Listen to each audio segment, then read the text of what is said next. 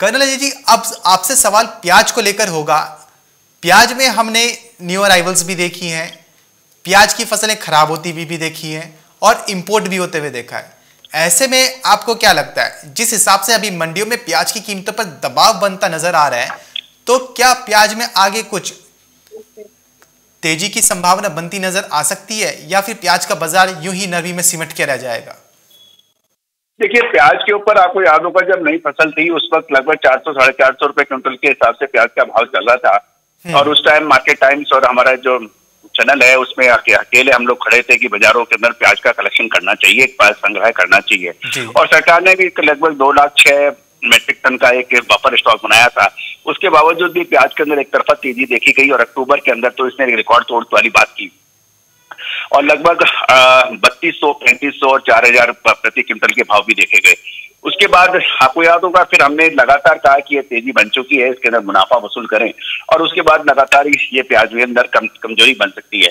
तो प्याज के जितने भी किसान हैं खासकर महाराष्ट्र के वहाँ से ईरान से भी कुछ प्याज की इंपोर्ट हुआ है। जी। कुल मिला के अब प्याज के अंदर कुछ जान बाकी नहीं है हमारी गणनाओं के आधार पर। और इसके अंदर मुनाफा वसूल कर लेना चाहिए कि जैसे जैसे दिन आगे चलते चलेंगे प्याज के अंदर की कीमतों में घटौती बढ़ती चली जाएगी।